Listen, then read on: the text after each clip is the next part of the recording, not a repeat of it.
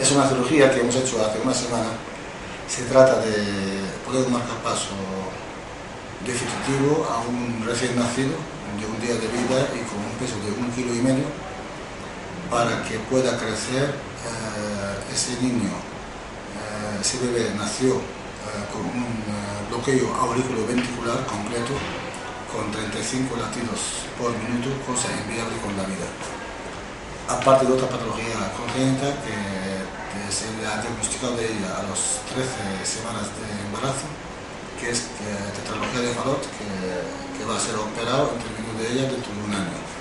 Pero el bloqueo auriculoventricular se le diagnosticó dos semanas antes del parto y para ello hemos todos los equipos del hospital, los servicios, acordado que a la mayor brevedad posible hay que ponerle un marcapaso para que este bebé pueda crecer, desarrollarse y ser apto para la cirugía correctiva total que se va a aplicar dentro de un.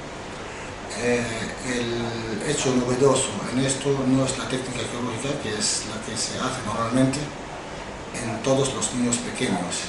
Eh, es un implante de marcapasos por vía epicárdica, pero sí en tanto la combinación de su edad con el peso le adquiere ser el primer niño de España con esas dos características que se le puede implantar un marcapaso definitivo con los riesgos eh, que conlleva esto.